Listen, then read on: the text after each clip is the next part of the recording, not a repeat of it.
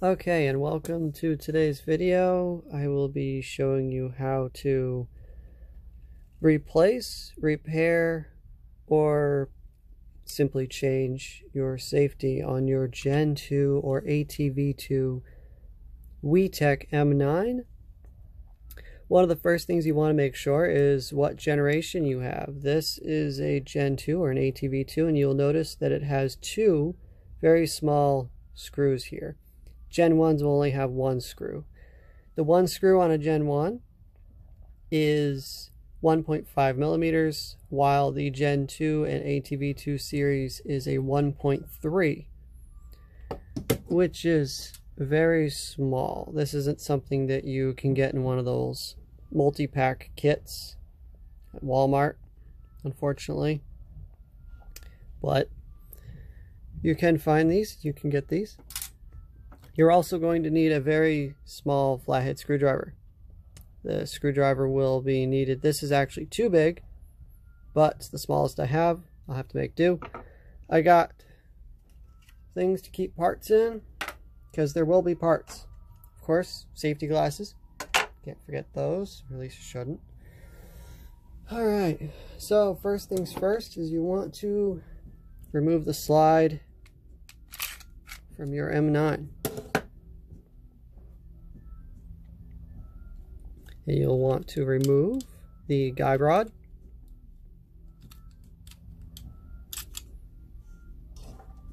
And now remove the outer barrel and inner barrel assembly.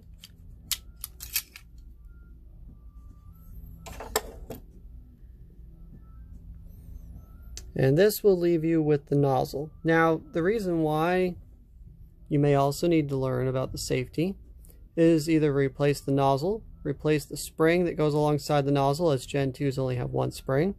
Or perhaps part of your safety is not working in the upper section here. In order to get to any of that, or even the rear sight, which is held in by two Phillips screws, not that Allen on top, that's fake. It is held in by two Phillips screws on the bottom. In order to get to any of that on a Gen 2, you need to take this safety out. So with that being said, find my Allen key here. This is righty tighty lefty loosey. And you'll notice now oftentimes people will say that their safety will will have broken. Safety broke off. Often what they are referring to is that these little screws they're very sensitive. They're not torqued down very much. So these will come out and when these come out, this half of the safety will come off. Their safety will still work, but oftentimes people believe that their safety is broken, and that is not always the case. These screws are just not tied in very well. They don't have a lot of torque to them. They don't have much resistance, and you do not want to strip these at all.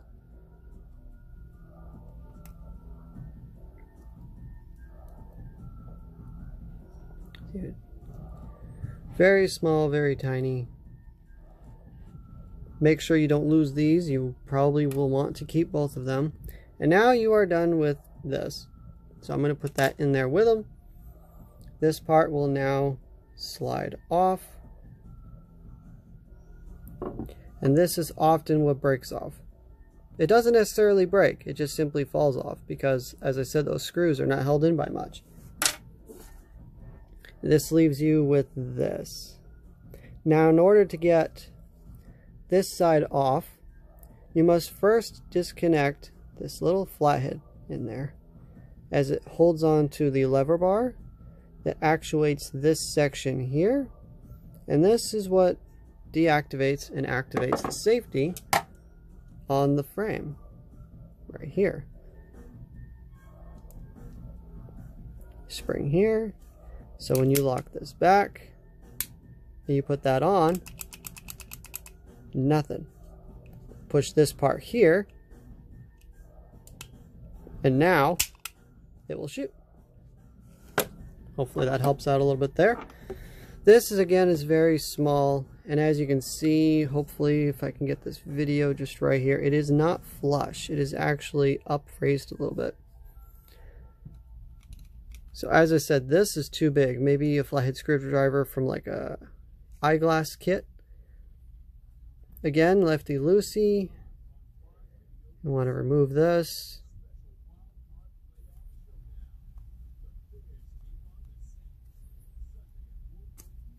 Now that is out. This is very tiny.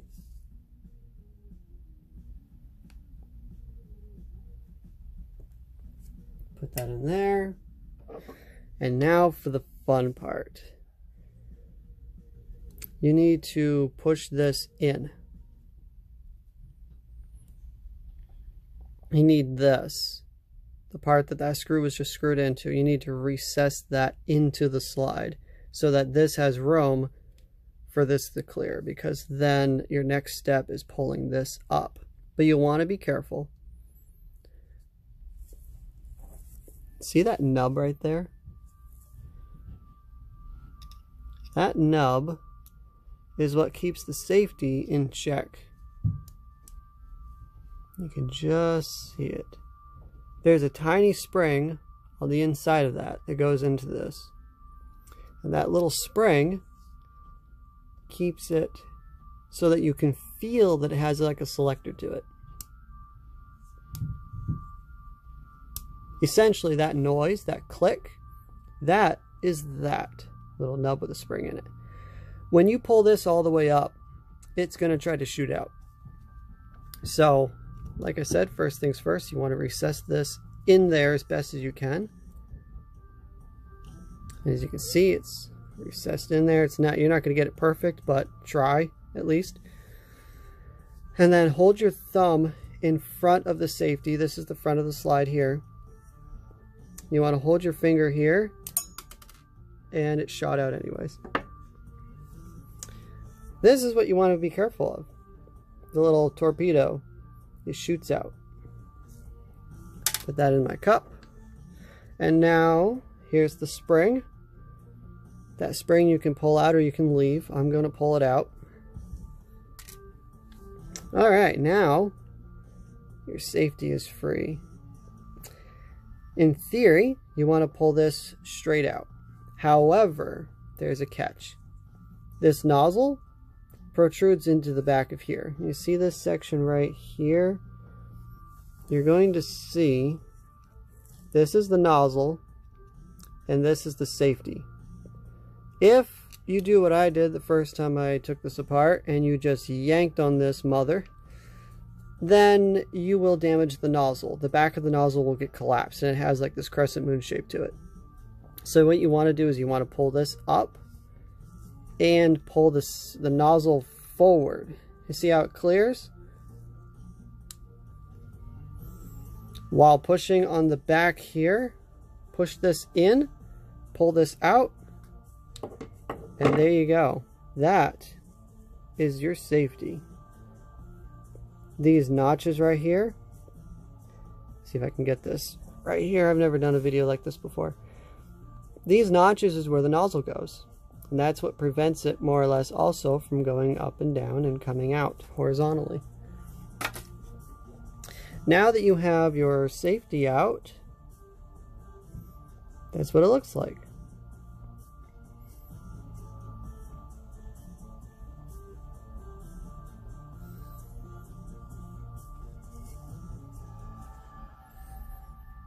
Now I'm going to stop this video and then I'm going to continue it and make a next part as to how to change the nozzle, but this is the video on how to do this. In order to put this back together, oh man, do I want to do that first or next? That's a question. I guess for now, for the point of the video, I will be showing you how to put it back together. Again, same thing, you want to make sure that the large end is on the end with the dot. This would be the left hand side of the slide. Make sure it's level and that you pull that nozzle forward. And it should lift it up a little bit. There you go. Your safety is back in. Now, release the nozzle. You can push it back in so that it's flush here You don't need to worry about that anymore. You're going to want to put your spring back in. There is not necessarily a front or back to the spring, but I've noticed that on mine sometimes one side is flatter than the other.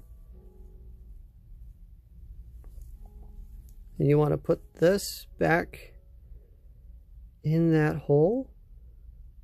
Now if you have a really tiny screwdriver or something, you could use that to help guide it in. But for the most part, you want to get it in that recess hole there.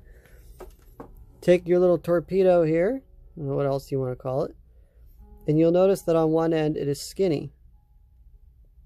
That skinny end you want in the spring, like that. Okay. Push that in, and as you're pushing it in, this is why I have fingernails at the moment, I apologize. You want to push that in and get the safety press shit. you want to get that safety in.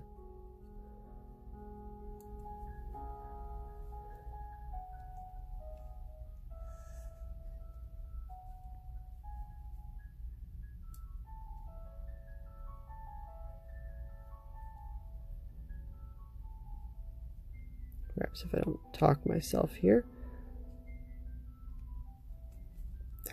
Okay.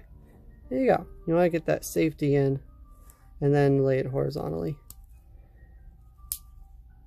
And now it should have that click back to it. Now for the other fun part, getting this back up. You see how there's two holes now? That hole in the top is where you want the hole in the bottom to line up with. This is where you're going to put that little screw back in. So what I did on mine is you'll notice that there's a part right here this is actually part of that safety. You push this back up and voila, it is back. You want to make sure that that hole is lined up with that hole because the screw doesn't have very strong threads to it. You will damage the screw and or strip it. You to find that screw again. Make sure it's the flathead screw, not one of the Allen screws. This is an Allen screw. That's an Allen screw.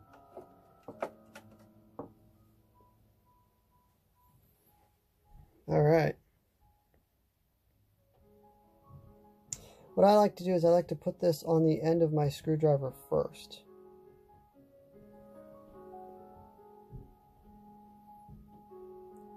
I Get to focus. It is on the end of the screwdriver here. And now line it up in the hole.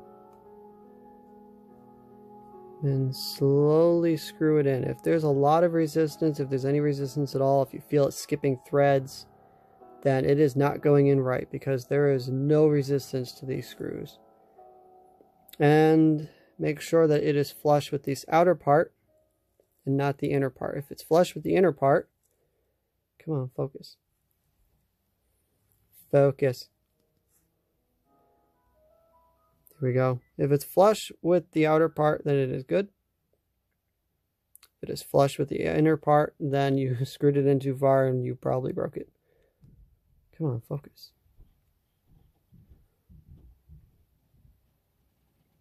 And now you can put the safety on. And you'll notice that the screws are on the top now. Screw holes. So you take your safety and you put it back in. Now you'll notice that I did that so that the safety is covering up that second red dot there.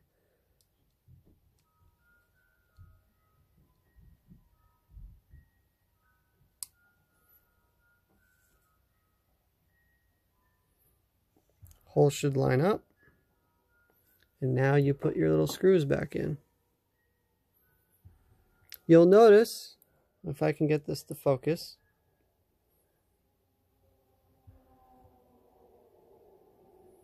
there are two sides to this.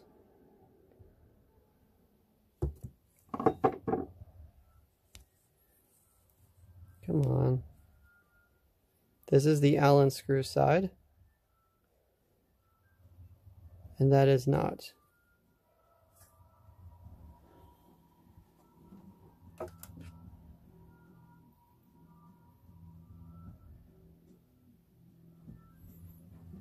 So no, you'll see two tiny holes, but it is not double-sided.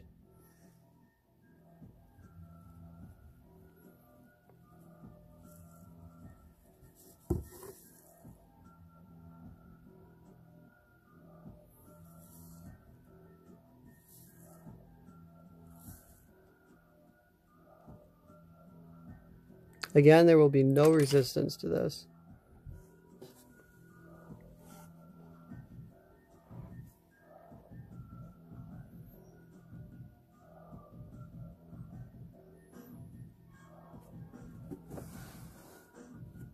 And of course I dropped my Allen key here.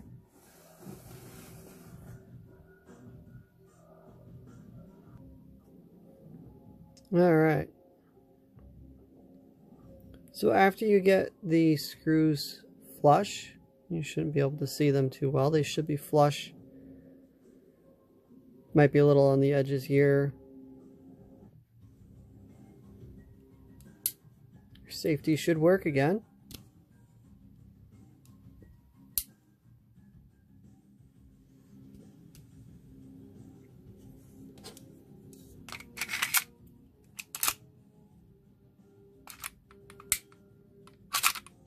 Yeah, probably would help if I put the outer barrel back on, wouldn't it?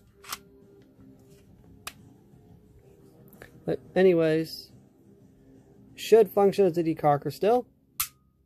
That's what makes it a Gen 2.